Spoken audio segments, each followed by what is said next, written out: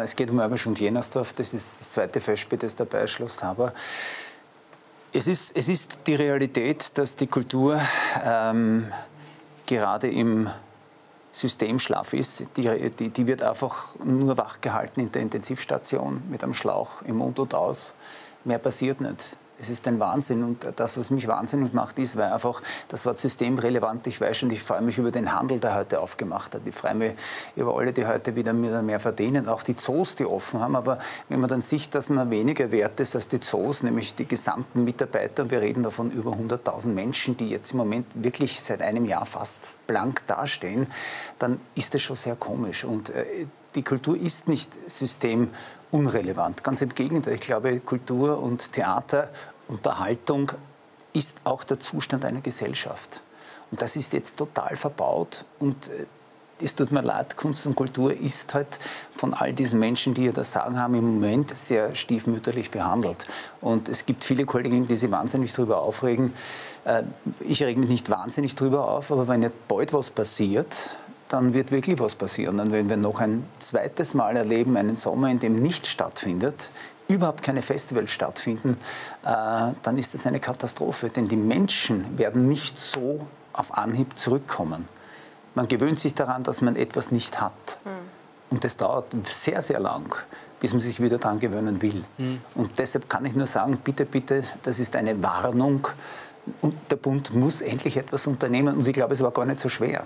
Jetzt ist es ja so, dass ähm, es dir, wenn ich das so sagen darf, noch besser geht als vielen anderen Künstlern, äh, wenn ich an die Tänzer, Tänzerinnen, ja. Beleuchter etc. denke, wo das Einkommen eh schon viel geringer ist, als viele ja. glauben. Weil ja. äh, manche Menschen glauben ja nur in der Öffentlichkeit zu stehen oder auf einer Bühne zu stehen, ist gleichzeitig auch reich Reichtum. Ja. Äh, das, das ist ja nicht der Fall. Aber was kannst du dir vorstellen, unter welchen Voraussetzungen du zum Beispiel Mörbisch aufsperren könntest? Nehmen wir an, äh, es würde gehen, dass wir zumindest mit der Hälfte äh, aufmachen dürfen. Wir haben 6.200 äh, Zuschauer in Mörbisch mit 3.100. Da würde das Land noch immer genug draufzahlen. Aber ich weiß, dass das Ziel das machen würde, damit die Menschen eine Ablenkung haben. Damit man sich auf etwas, genau, dass man sich auf etwas freuen kann. Aber man könnte auch den Bund einmal wirklich sagen, pass auf, es ist so viel, so viele Milliarden sind geflossen. Was ist, wenn wir die 50 Sommerfestivals und Theater retten, indem der Bund zum Beispiel die Kosten für die Schnelltests nimmt? Wir haben jetzt ein bisschen ausgerechnet, von 3000 Zuschauern nehmen wir an, dass vielleicht 500 bereits getestet sind mit einem nicht älteren Test, das 48 Stunden, 500 vielleicht geimpft sind oder schon Antikörper haben. 2000 Menschen könnten wir dann noch in drei Stunden schaffen. Das heißt, man könnte wirklich 3000 Leute noch hineinbringen.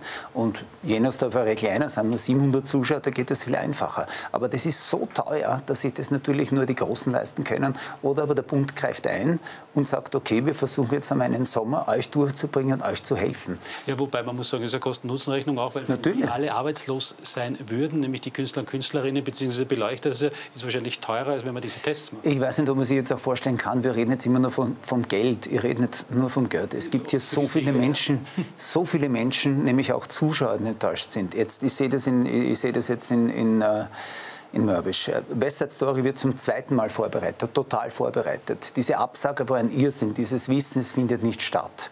Jetzt schaut es wieder so aus.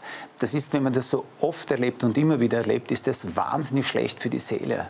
Mhm. Und das ist wahnsinnig schlechter für die Psyche. Also es ich glaube, ein Stück Identität. Na, so ist es. Ich, ich, glaube, dass einfach die Kultur und die Theaterlandschaft in diesem Land ähm, wirklich ziemlich lang hinten anstand. Und das ist jetzt kein lauter Schrei und ich mache jetzt auch niemanden wirklich dafür verantwortlich. Ja, verantwortlich ist dieser Virus, verantwortlich sind halt die Menschen, äh, die noch immer ohne Mund- und Nasenschutz auf die Straße gehen, die noch immer sagen, ich brauche keine Handschuhe. Politiker, die wirklich im Parlament ohne Handschuhe auftreten, nämlich ohne Mundschutz auftreten, also das verstehe ich überhaupt nicht. Ähm, und das alles löst dann wieder aus, dass, eine, dass Gruppen, jetzt rede ich halt, äh, die Künstler haben schon verstanden, dass sie hinter den Zoos, hinter den Fitnesscenters drankommen. Das ist eh schon klar, ja, damit leben wir eh schon. Aber das ist ja nicht die Realität. Aber hat das wahrscheinlich auch damit zu tun, dass Sie einen, einen Beruf machen aus Leidenschaft und einfach... Danke. Es ist eine Berufung. Mhm. Und deshalb verdienen diese Menschen auch so wenig. Äh, ich weiß ganz genau, ich habe die ersten 20 Jahre meiner Karriere, ich weiß nicht, wie das bei dir war, aber die ersten fünf Jahre meiner Karriere habe ich Postbackeln pickt, damit ich mir meinen Beruf leisten konnte. Ich habe am Fließband gearbeitet. Na, und ich, ich weiß, wie viele heute noch, äh, und jetzt so schlimm, ähm, äh, hinten anstehen, Familien haben und deshalb, also ich kann im Moment nur helfen, diesen 400 Menschen, die involviert sind in den zwei Festivals, die wir machen. Und äh, Burgenland versucht jetzt wirklich mit aller Kraft, dass das heuer wirklich stattfinden kann.